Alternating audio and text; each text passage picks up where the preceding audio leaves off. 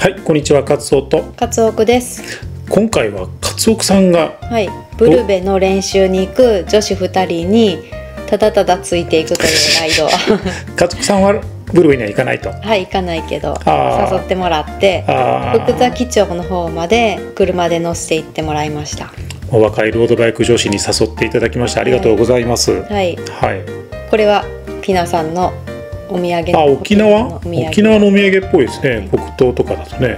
朝早く出発して。はい、これが、えっと、ブルベに初挑戦するピナさん、これみんな知ってます、このモンスター。うん、バカ売れしてるんですよ。実はの作者がピナさんです。ピナさんっていうね、はい、この方なんですけれどもね。はいロードバイク界隈でもトレラン界隈でもなんか発売したらもう即完売みたいな感じなので、でアテンドしてくれるブルベ慣れてる女子。メイリン、メイリンさん、うん。はい。もうブルベ仕様で来てます。ライト2つあーライト2つつけてるな、うん。賑やかな賑やかな感じですけど。これ出発はどこ？はあのー妖怪の何やったっけな？あの公園。辻川公園？辻川公園。うん、姫路。はい。え姫路ーのちょっと北部ぐらいの。と、うん、福崎町でしたそうそう福崎町。はあ。あすごいここ福崎町の駅からこれあれやうん。線路沿いや。川ね。うんうんうん。市川の川沿い。はいはいはい。をずっと北上してます。あ。ーあ上川町。うん。これだから上に行ってうん。行くの銀山の方でうん。折り返す予定が雨が降ってきて。なんか天気怪しい感じやねこれ。これ雨降ってんの？そうそうそう。あ降ってるやん雨。うん、うんでもメイリンがもう折り返した方がいいって雨雲が来るからでもちょっとあの折り返して姫路城の方まで行こうかって言って。ああ、うん。なるほど。でここでちょっと雨宿り。道の駅や。道の駅。あ上川の道の駅や。うんそうそうそうそう。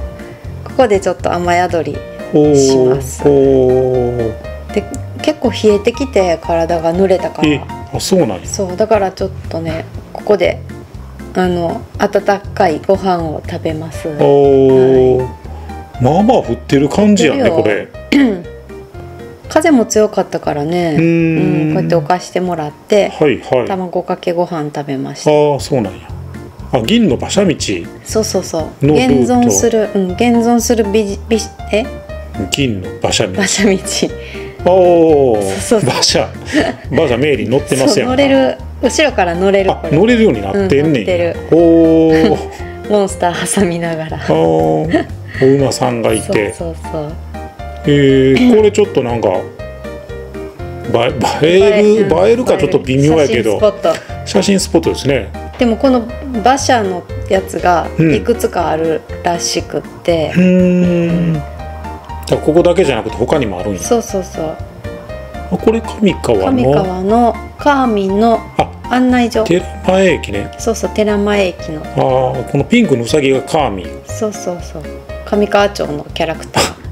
あ上川町だからカーミンなんだ。う。んあ来月上川。ーあ上川ヒルクライムがねありますね。はい。あここ水車のね。そう水車のところ。ここも以前行ったことがありますね、うんありますね。映えポイント。うん。でこの先にも、うん。あの彼岸花と一緒に取れる水車が取れるとこがあるって聞いてほうほう。で移動してきました、彼岸花の時期ですうね、ん、いっぱいねカメラマンがいてて、まあ一般の。へえモデルになったと。そう でこっからまた福崎町に戻ってなんかパン屋さんが美味しいところがあるっていう聞いてたんでほうほ戻って行ってます。あここ。そしたらなんかお休幸みやって。そうそうそう。ランタンさんに聞いて。お休みでした。そうそうお休みでした。なんと。で姫路城の方行ってほう。でなんか姫路港の辺でほう。あピさんが行ってみたい自転車屋さんがあってああ、行ってみようってことで。なるほど。はい。あこれ姫路城じゃないですか。これは姫路城。船に乗れるんや姫路城。見返りワクちゃんメリーのジャージも賑やかなジャージですね。自転車も賑やかですけど。3連休の3日目やったからすごいいっぱい。人が多い、うん。あここここああやバイクさんへえへえじゃあねかわい。いめっちゃいいてますやんかそうお客さん。かわいいアイテム。あこれはいっぱい自転車が置いてあある置いてある、おーなんかちょっとおしゃれなそう。あ感じのお店ですね。そうそのあやさんあやの方バイクス。はすシクロクロスもすごい全日本とか出られるぐらい強い方で。へえであのなメンテメンテっていうかなんていうのあれなんだ。なんかめっちゃめっちゃおしゃれなお店って感じ？そうそうそう。かわあのアイテムが可愛くって。こへえ。っちもほらあこっちで修理とか修理とかもしてらっしゃってと、ほうえ女子の方がお店のオーナーさん？そはあそうなんや、ううん。これはなかなかいろいろ相談も。あそう。でこの飲み物あのも売ってるから買って。へえそこで教えてもらった美味しいカレー屋さんに。スパイス末広。食べに行きました。ほう、はい。カレー。あ美味しそう。そう。常にモンスターがどっか似てる的な感じ。こっちは天気良かったんや。そうそうそう。だからね南の方に行って。うーん。でこっから元に戻ってあ福崎町福崎町ににちょっと北上していく感じ、はい。うん。けどまあ一応ブルベレン的な。そうそうそう。だからまあゆっくりでいいからずっと漕ぎ続けて、うんうん。まあ、この日は100キロぐらい行ったけど、うんううん。んあの持ち物とかもその日仕様ではあ。どんな具合か。これまた可愛いお馬さんがいるかと思いきや後後ろの妖怪がどどうやねんっていう。妖怪の観光交流センターね。ここサムネやね多分ね。モンスターオブモンスター的な感じ。囚われのモンスタ取らーれるモンスター。あこれ変わってたこれなんか。前なんかいたね。うん。氷みたいなチリステカラー的な感じの人が、将棋してるモンスター。はでこの中建物の中も前より変わっててあへえいろいろこういうなんかへえあの柳田邦夫さんだ。そう。あのなんちゅうんかな。